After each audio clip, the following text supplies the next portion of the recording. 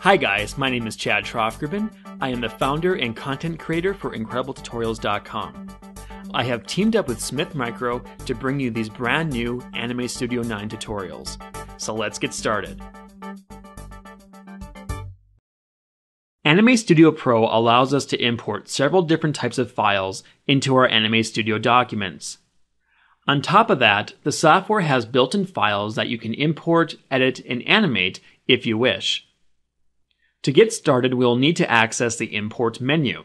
So take your mouse and go to File, Import, and at the top here we have the preset files 3D, audio, characters, effects, images, props, scenes, and video. Let's import a 3D object first. So if we go up here to 3D and go to Props, you can see we have some objects to pick from. I'll choose Phone Booth. You can see an object has been brought into the software. And on the layers panel, you can see that it is indeed an OBJ file. On top of that, if you take your camera tools and pan around, you can see that it is indeed a 3D object. I'll just get rid of this and go back to my import menu. There are preset audio files we can choose from. So for instance, sound effects, we can click on clicking and choose a clicking sound. You can see it's been imported into my layers panel. There's indication of it on the timeline. And if I click the play button, we can hear it play out. Going back to the import menu, we have access to characters, most of which come ready to be animated so if you're looking for a new character design and you really don't want to draw one, you can choose some of the characters here. There's also effects. So if I go to the categories here and go to particle effects, I can choose an explosion. And as you can see, we have an explosion on screen. And if I page through the timeline, I can animate that out. Going back to the imports menu, I can also import preset images from the software. There's also props, which are similar to characters.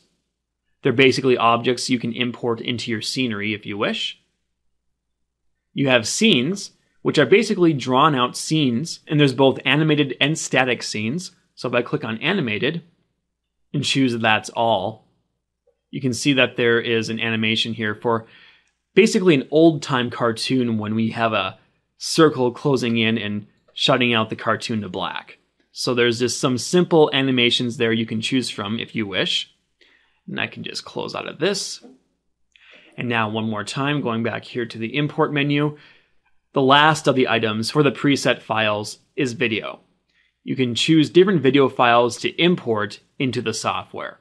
Now moving on to the bottom part of the menu, we have Anime Studio Object, Image, Movie, Vector File, Tracing Image, Audio File, OBJ 3D Model, and Poser Scene. Anime Studio Object allows us to import objects from our Anime Studio documents. So as you can see, I have a document right here. I can click and choose Open. Now I have access to all the main layers in that project file. So I can choose a character or an object and click OK. And then bring that character or object into the scene. Next, going back to the import menu, we have images. You can import many different types of images, such as JPEGs. You can even import Photoshop files. I'll just choose a JPEG for right now and click Open. And as you can see, there is an image now placed on my canvas. Just know that you can edit images like you can vector files in Anime Studio.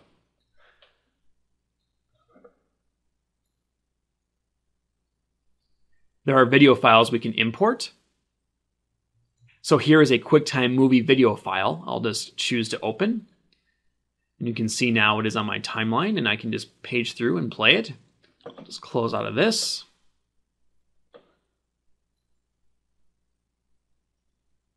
And now we have vector files. If you have created a vector file in a different piece of software, such as Adobe Illustrator, you can import those into Anime Studio. So if you have an SVG file, an Adobe Illustrator file, or an EPS file, You can bring these files in and edit them as if they were drawn in Anime Studio. So I'll choose SVG file and click on this one and hit open. As you can see, that vector file document has been brought into Anime Studio. And if I zoom in here, I can see that it's made up of a bunch of vector shapes. And if I grab my translate points tool, I can even edit these shapes as if they were drawn in the software.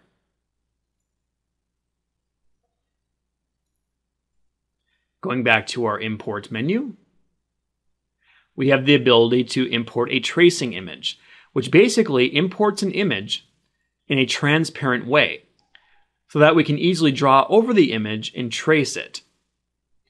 And now, going back to the import menu once again, we can choose to import external audio files.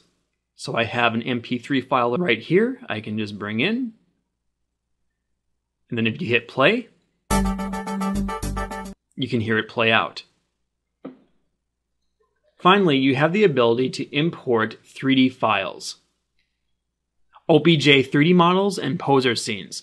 OBJ is a certain file extension used when creating 3D models. Poser scenes are from Smith Micro's 3D modeling software called Poser. You can essentially bring in the project files as if you could bring in an Anime Studio project file. For this demonstration, I'll choose the OBJ 3D model then click my stairs OBJ file and click open. And as you can see, I have a 3D model of some stairs. And if I take my camera, you can see I can pan around and, and show that off.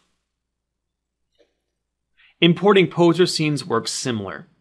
And that is how you import files into Anime Studio Pro. If you have more questions regarding Anime Studio, please visit the official Anime Studio website at anime.smithmicro.com. Thanks for watching, guys. I have many more Anime Studio 9 tutorials out there, so keep an eye out for those, and I'll see you next time.